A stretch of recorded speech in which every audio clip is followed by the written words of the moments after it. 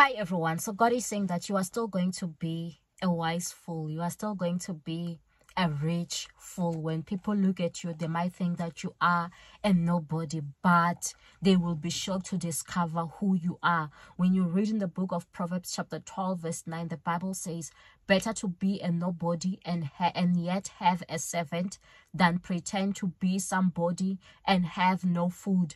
And the people, God is saying that people right now, they are trying to pretend to be the somebodies, but they have nothing. They don't even have money for the basic needs. They don't even have money for food, yet they are trying to pretend like they are great or they are somebody. But God is saying that it's better for you to pretend like, or to be not even pretend to be a nobody while you know that you are a master, while you know that you are successful, while you know that you are rich. God is saying that He wants such wealth to be upon you. He wants you to be the master. He wants you to be the employer. He wants you to be very rich in the mighty name of Jesus. Yes, the lifestyle that you are living might might not meet the society, the expectations of the society but god is saying that it's fine for you to be a nobody while you know that you have many servants many people who are reporting to you while you know that you have a portfolio of riches with you of wealth with you. In the mighty name of jesus amen